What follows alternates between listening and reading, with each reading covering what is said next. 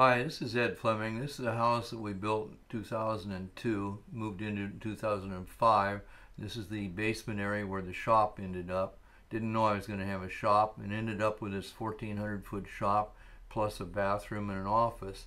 This is a Powermatic uh, 90 lathe and a uh, older Delta pin router that are both sold.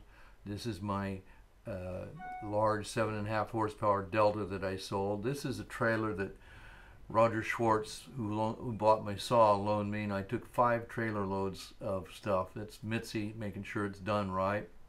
This is Victor Castro, my friend, and his son Victor Jr. moving equipment around in my shop, kind of positioning it.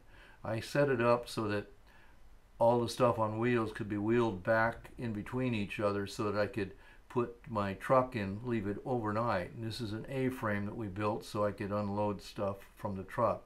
This is my wood rack and some of my Vidmar cabinets uh, that uh, I made into a bench. Here's the shop with the stuff in position, uh, ready to move the truck in place.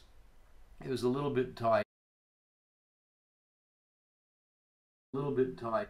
And I had a chance to get a 1,400 foot building 300 feet away, so I ended up moving. And remind you, mind you, I never did get the place wired where I could use it or do anything. So I had to move all the stuff out. This is still stuff. It was really a mess. I would move a load down, get everything straightened out, and then move another load, mess it up, straight, straighten it out, go over and over. I did it about 10 times. Um, they, uh, that's again the horizontal router. And uh, this is the ClearVue Cyclone that we moved and some of the other equipment. And uh, again, the, now we're going to go over to the new shop and uh, we took out an office that's eliminating a doorway uh, that you can see where we took the office out to give more shop space. The next thing we did was well I put in a jib crane to be able to lift things off the truck with.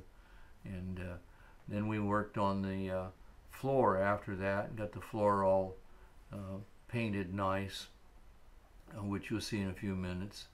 And then I arranged all the equipment in the shop and getting ready. Here's painting the floor. Tino and Victor and Victor's son, Junior, uh, Victor Jr.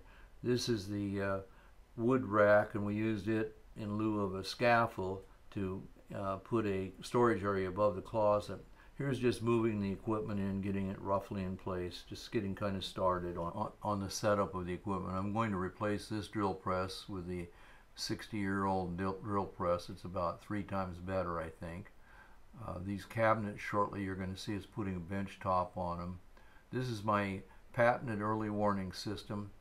Uh, you touch it and it falls over before you hit the cabinet. Uh, works pretty nice.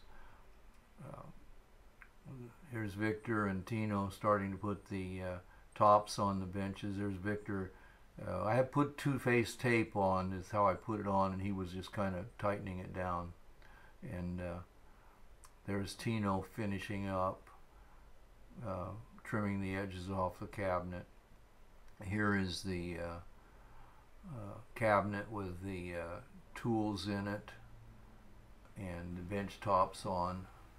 And this shows the SawStop saw in the shop. Again the tool cabinet open works pretty nice really.